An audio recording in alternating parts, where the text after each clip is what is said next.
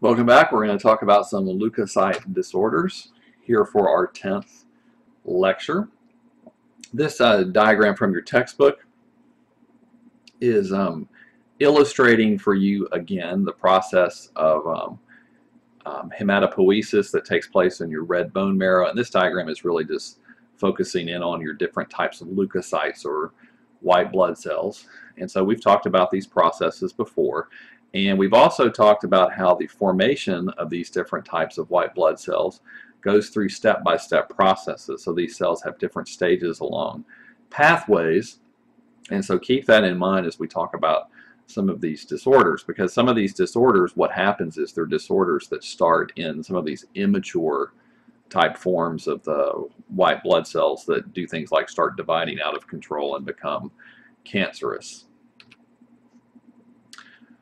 All right, so some leukocyte disorders. Now we talked about before an elevated number of leukocytes. We had that on an earlier lecture, but let me put that here again. This would not really so much be a disorder most of the time, but leukocytosis is where you have elevated white blood cells.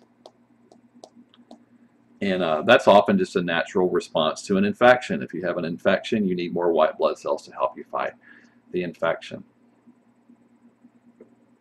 All right, now leukopenia, on the other hand, is abnormally low white blood cell count. And sometimes drugs can cause that. Remember when we talked about aplastic anemia on um, the anemia lecture or the erythrocyte disorder lecture? Anything that damages the red bone marrow is going to reduce uh, the total number of your different types of formed elements that you're making. So you'll have low red blood cells, you'll have low platelets, and you'll have low white blood cells. And so that condition is called leukopenia. Lots of different things can cause that. Leukemias are cancers of white blood cells, which means you have um, some type of immature white blood cell. So it's over here at this stage that starts dividing in an out of control manner in the bone marrow. And you just start overproducing these abnormal, immature white blood cells in an out of control manner. And um, this will eventually kill you. Any type of leukemia is eventually fatal if it's uh, not treated. the leukemias are named according to the abnormal white blood cell involved. So the next time you hear about some type of leukemia, listen closely because you'll hear names like a myeloid or a myelogenous leukemia. That means that that type of leukemia is developing from a myeloblast. So that's one of these um, committed cells derived from a myeloid stem cell. These are called myeloblasts. Those ultimately develop into these types of mature white blood cells that you see here. So if um, you know one of these cell types starts dividing in an out of control manner, you would have um, a myeloid type leukemia. A lymphocytic leukemia involves these cell types over here in the bone marrow start dividing in an out of control manner and become cancerous.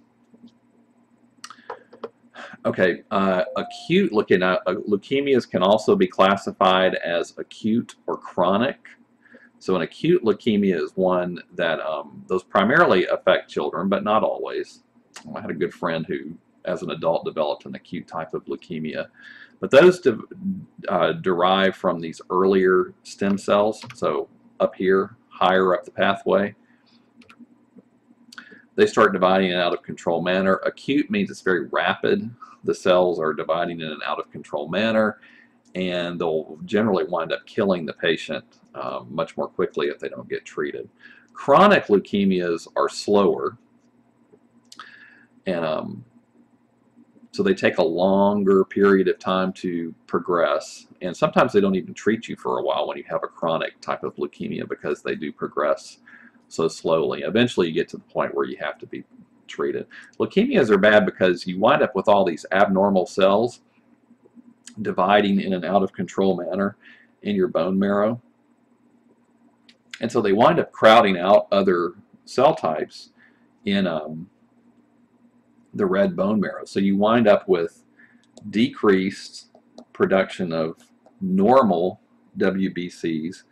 You wind up with decreased production of red blood cells as well. So uh, sometimes one of the very first signs or symptoms of, or uh, one of the first signs of leukemia is actually that a person becomes anemic. That happened with my friend who developed leukemia about 10 years ago. Um, he did survive, by the way. He's been cancer free for about six or seven years now. But the how he knew something was wrong, he was extremely tired. He was short of breath just doing everyday normal processes. And it was because he had anemia that was due to the leukemia cancer he had wound up developing.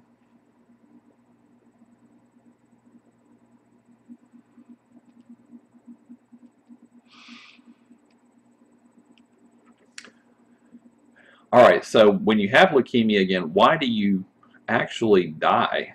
The um, reason you actually die is you start bleeding internally very easily.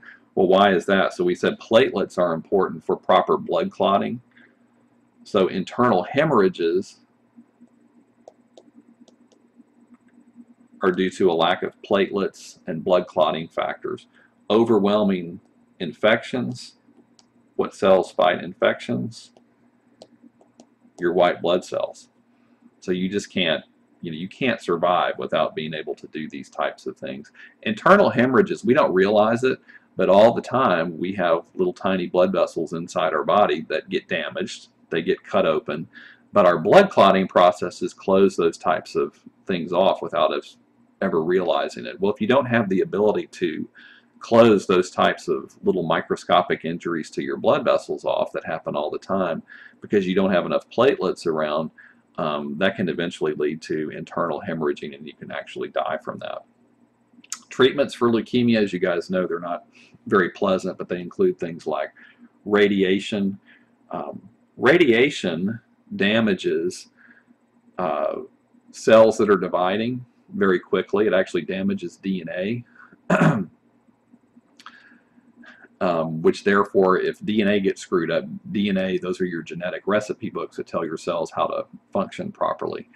Um, and so your cancer cells, because they're dividing really, really quickly and they have to copy their DNA all the time to make new copies of those genetic recipe books, they're particularly susceptible to uh, dying from radiation exposure. But that radiation also damages other cell types in your body that um, are dividing quickly like your red bone marrow. There are uh, drugs today that are more specific for leukemia cells. We're getting better at coming up with drugs that just home in on leukemia type cells and, and harm them without um, hopefully doing nasty things to the other types of cells in your body. Stem cell transplants, that's pretty radical. That's where they actually kill your own red bone marrow and then they give you hemocytoblasts uh, donor stem cells. And that's kind of a dangerous procedure, so they don't do that unless you're kind of out of other types of options. All right, so just a little bit there on some leukocyte disorders. Um, now what we're going to, the next series of lectures, we're going to uh, just mention blood clotting, and uh, that's a very critical process for your survival. As I was just mentioning, if you can't clot your blood, you're likely to actually die due to internal hemorrhaging, and um, so those processes are called hemostasis. Um, hemostasis, you know, like homeo, um, homeostasis, keeping the body stable and functioning. Hemostasis refers to uh, making sure blood is able to flow properly throughout the body and closing off injuries to uh, blood vessels that um, can develop. So we'll talk about that over actually over the next series of video clips. I'm going to chop it up into multiple video lectures since it is a uh, fairly lengthy topic.